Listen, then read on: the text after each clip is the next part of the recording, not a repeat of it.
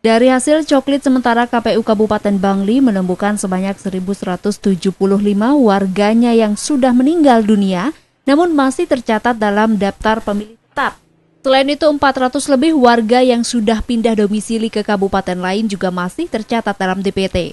Kondisi ini lantaran sebagian besar warga yang sudah meninggal tidak memiliki akte kematian, sehingga warga tersebut belum terhapus dari daftar pemilih tetap.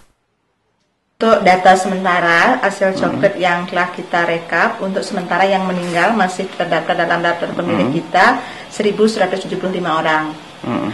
Dan eh, nanti kita akan buatkan itu akte kematian secara kolektif. Eh, hmm.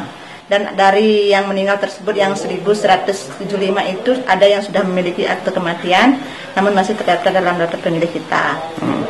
Kemudian untuk yang pindah domisili, eh, rekap sementara hmm. itu 407 di mana itu terjadi di Desa Kedisan. Hmm. Gitu. Kenapa Bu mungkin warga yang sudah meninggal itu masih masuk DPT uh, eh, penyebabnya apa mungkin?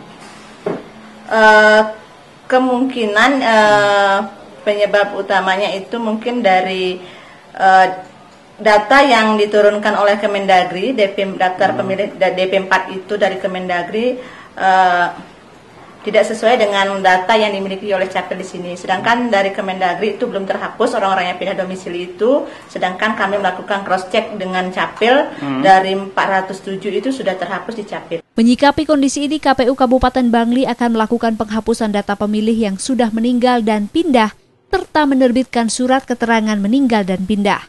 Sementara proses coklit ini akan dilakukan terakhir hari ini. Wayan Hobiana, Kompas Dewata.